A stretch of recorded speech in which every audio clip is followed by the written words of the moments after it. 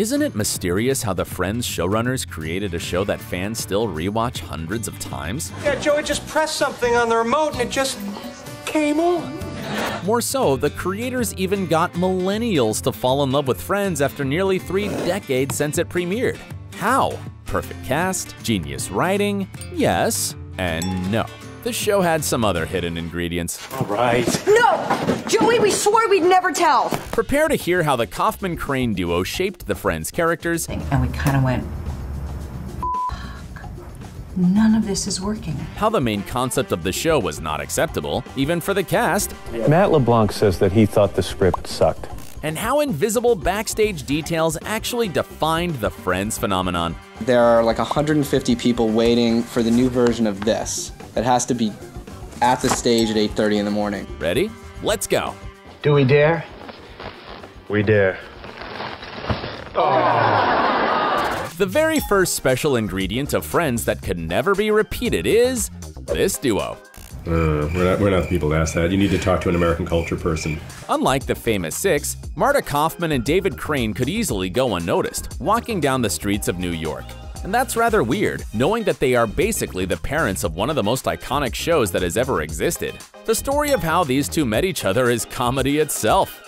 He was a street urchin. Yes, and Marta was a whore.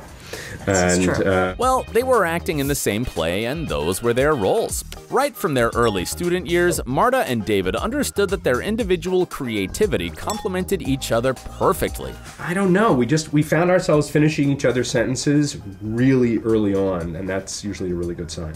That helped a lot on the set of Friends, where David was responsible for the more analytical side, and Marta more dealt with the emotional aspect. But even their perfect match couldn't save them from drama. First, they failed as actors, then as writers of pretty weird musicals. It took them quite a while to enter the world of TV shows, and even then, they wrote project after project, none of which were ever picked up for pilots. Basically, the early Friends draft was also something that Marta and David didn't have much hope in, especially of the risky, too general idea of the show. Just think about it. How would you sell a show about uh, a group of people who do nothing? They're just being friends, you know? But it turned out that this was another secret ingredient that we will explore next. What secrets? Oh, no, no, Joey. I'm not going to tell you because I am an excellent secret keeper. You tell me later. You already know. After graduation, David and Marta lived in New York and had a group of six friends. They were all each other's best friends, and they hung out all the time. Of course, this point in their lives inspired the idea for Friends.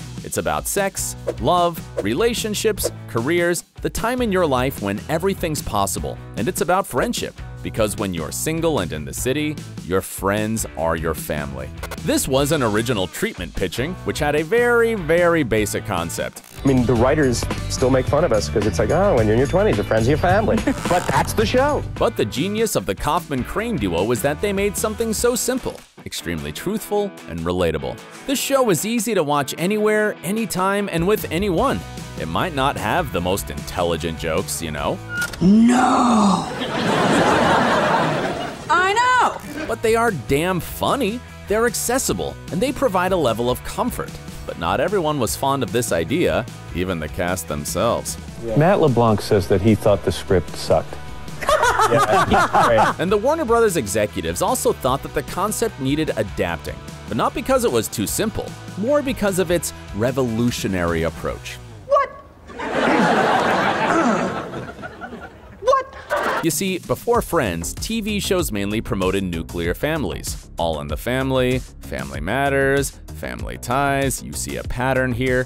When the showrunners wanted to change the formula, the maximum that they were allowed to do was add a twist to the family dynamic, but keep the same format. That's how we met a weird alien who eats cats in the family, or a giant Sasquatch in the Henderson family, but for Marta and David, it wasn't enough. They wanted something different. And so they decided, from now on, you're not defined by your family. You can create a family of your own. But I, I'm okay, really. I've got magic beans. In fact, none of the friends are in relationships at the beginning of the show, which was totally crazy for the beginning of the 90s. More so, in the show, friendship often presents itself as something even more important than romantic relationships. You know, boyfriends and girlfriends are gonna come and go, but this is for life. I mean, it's the end of an era. I know. It was definitely a breath of fresh air, but still, a different concept alone wasn't enough to make Friends iconic. Another essential aspect of the great show, and especially the sitcom, is the humor. And this might come as a shock, but actually, David and Marta aren't the best comedy writers. Uh, we don't really write good jokes. We're, they're much better joke writers than we are. What? Yep, that's true. But that's okay, because we've always been with people who did write really good jokes. Friends needed at least 12 writers in the room to come up with the funny lines. There are 12 of us because the way life works is you're not always on. Today, I might not be at my funniest for whatever reason. But you know what? That was not enough to please the standards of the showrunners. A whole set of executives were ready to jump in whenever a joke didn't show the expected results in front of the live audience. If a joke doesn't work, you just see this whole group of smart people just get in this huddle and then they come out and they tell you a joke. Everyone was involved in the process of reaching the best results. In the behind the scenes documentary, this is made clear when Lisa Kudrow suggests asking the audience about a joke from the current scene to clarify whether it's funny or not. You want to be sure where you ask them. You can ask him. Ask the audience. respond. Who did not everybody? get Who did not get the fact that we, that, uh, that Phoebe was married in Vegas? From that joke. When she says, "Oh my God," That at some time in the past she was Sometime married in in the Las past, Vegas. you guys got yes. They're all, got they it? got it. Great. got it. Beautiful. But sometimes there were nights when nothing went as it should. None of this is working. According to producers, there were times when out of 14 scenes, they had seven rewrites right on the set. The quality behind the scenes of Friends was unprecedented. Constant re editing was also common. I don't love that joke. I feel like it's cheap. Recalling memories decades after the show ended, David and Marta still feel that some storylines could have been done better. Uh, I don't think I've seen it since since it aired. Uh, if I watched it now, There are, be are there beats where I'd go, change. really? We were okay with that? That was okay? But hey, 10 years of constant laughs is not an easy task. And a big part of the show's success was practically left behind the scenes. Though we might not actively notice the props changing, how the coffee shop posters or the titles on Joey's doors change, or that the fruit is different every day, but actually, it's exactly those little things that made us believe that the central perk and the entire set was real. Monica? I don't know. Okay. Those were definitely crucial aspects that helped make the show a hit, but we can't avoid the elephant in the room and pretend that the magic between these guys didn't play a huge role in making Friends what it is today. As David Schwimmer once shared with Vanity Fair, the miracle is the casting. Having been on the other side of it now in terms of directing and producing, to find one magical actor who is just right for the role is difficult enough. But to find six and then to have them actually have chemistry with each other is just kind of a miracle.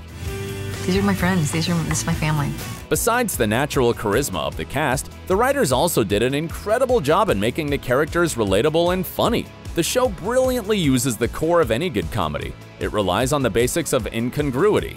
This simply means that the more different the characters are, the funnier it is to watch them together. Put Ross and Phoebe in one scene and it's already hilarious. But you don't, uh, you don't believe in evolution? No, not really.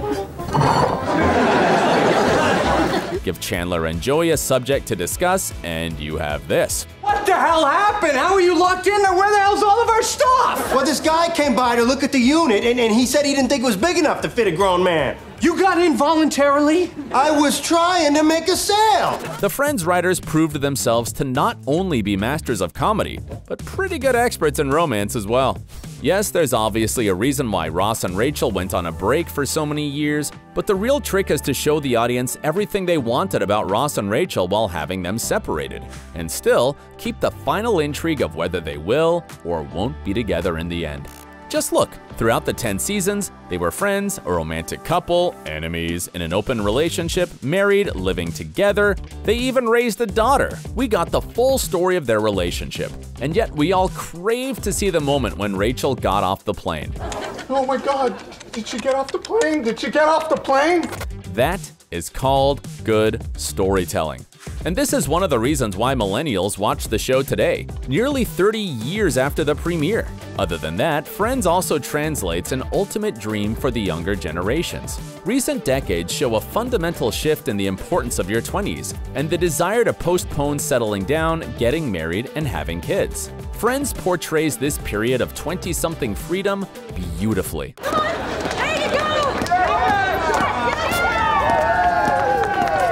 And it's not like the show presents this period as carefree and easy. No, we see broken hearts, divorces, failed career plans, and unplanned pregnancies. What Friends teaches us is that we will survive through all of the struggles if we have a bit of a sense of humor and a good friend besides us. Someone who will share our every concern, from sex problems to anxiety about adult life. Phoebe? What? Do you have a plan? I don't even have a plan. It's fine to grow up and have a family, or don't. Have three divorces or change your career entirely. But most importantly, throughout all these years, the characters of the show became our friends. And that's why when you're having a shitty day, month, or even a year, an episode of Friends still warms up our hearts. That's what makes it truly iconic. If you want to know more secrets about Friends, be sure to check these videos out as well. And thank you for staying awesome.